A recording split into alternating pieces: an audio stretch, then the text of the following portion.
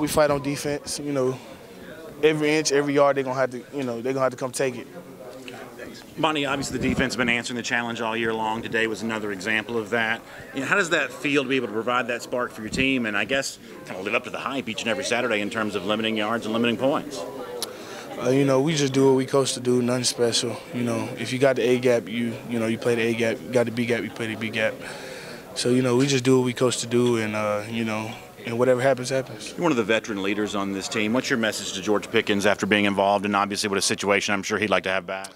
Uh, you know, I feel like you know that's a huge lesson, le- a learned lesson for him for to not do something dumb like that because you know he's a vital part of the team, vital part of the offense. You know, he's a young guy, but you know, obviously you see how productive he is. He can help us a lot. So, you know, he just got to be smarter. You know, you you can't, you know, there ain't no way around it. It ain't nothing else to say. Ain't no woulda, shoulda, coulda.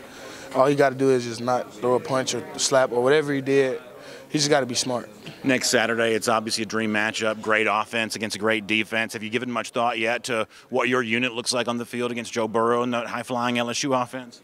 Uh, you know, they got a great team. You know, they make a lot of plays, those receivers. But um, no, I haven't given them much thought. You know, I've just seen them. You know, I watched part of the game when they played Bama.